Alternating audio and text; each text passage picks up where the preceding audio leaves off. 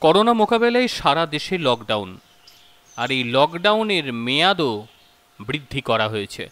আর এরই মধ্যে বেশ কিছু পরিবার রীতিমতো অনাহারে দিন যাপন করছে। মুর্শিদাবাদের জলঙ্গির রমাকান্তপুর গ্রামের বাসিন্দা অচিন্ত ঘোষ। লকডাউনের দিনগুলিতে প্রায় দিন তাদের পেটে খাবার জোটে না। পাঁচজনের পরিবার আর উপার্জন তিনি একাই করেন। কখনো দিনমজুরি, কখনো হকারি। এইভাবেই তার সংসার চলে।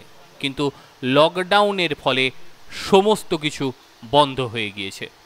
বাড়িতে একটি ছোট্ট দুধের শিশু রয়েছে। সেও সঠিকভাবে খাওয়া পাচ্ছে না। তার কারণ, তার মায়ের পেটে খাবার নেই। মাথা গোঁজার মতন ঘরও কিন্তু তাদের মাথায় নেই। যে চিত্র উঠে এলো, তা অত্যন্ত মর্মান্তিক। এখনও পর্যন্ত এই পরিবারটির কাছে কেউ চায়নি গ্রাম পঞ্চায়েত থেকে সামান্য আলু ও সাবান দেয়া হয়েছিল। সঙ্গে দেয়া হয়েছিল চাল।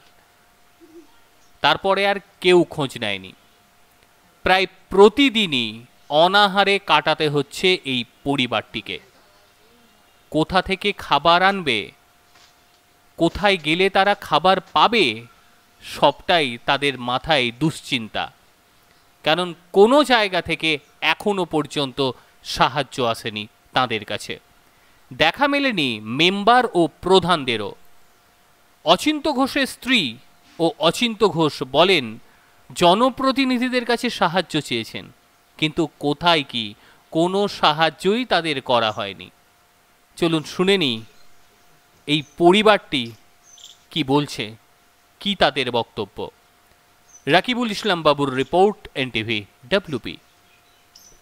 লকডাউনের মধ্যে আমাদের ব্যাটা ছেড়ে বসে আছে কয়েকজন পোষ্য বাড়িতে আমাদের তো খুবই অসুবিধা।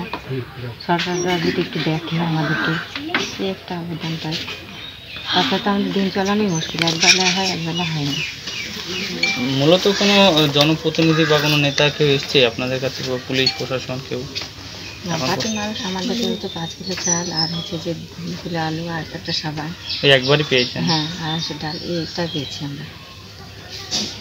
তাহলে এখন মূলত কি চাইছেন?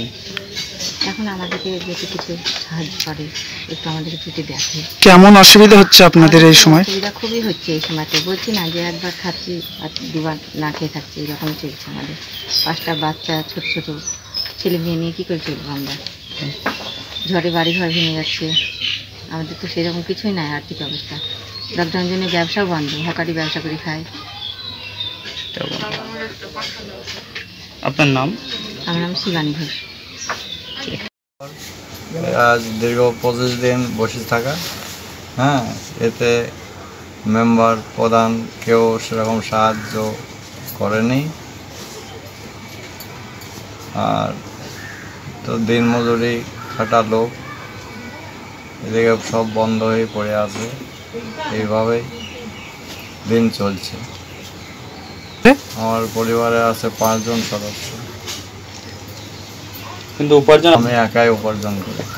এখন কি মানে কীভাবে দিন যাচ্ছে? এখন ওই তো একবেলা খেয়ে একবেলা না খেয়ে দিন চলছে। প্রশাসনের কাছে বা সরকারের কাছে? হ্যাঁ এই মুহূর্তে সরকার কোনো অনুদান যদি দেয় সেটাই ভালো। কিন্তু রাজ্য সরকার পাওয়া বলতে পঞ্চায়েত থেকে সেদিন ওই বোধহয় পাঁচ কেজি চাল আর একটা সাবান আর ডাল আর আলু দিয়েছিল। পাঁচ কেজি তো মূলত কদিন যাবে?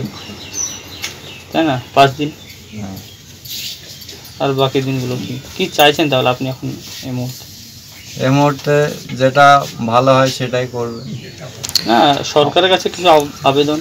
হ্যাঁ সরকার যদি কিছু দেয় তাহলে তো খুব ভালোই হয়। আপনার নাম? অচিন্ত ঘোষ। এমনি কি করেন আপনি মানে কাজ? আমি এই হকারি ব্যবসা করি। মূলত লকডাউনের জন্য সব শেষ। এই মুহূর্তে কি আপনি ব্যবসা করতে পারছেন? আমি বসে আছি আজ একুশ দিন।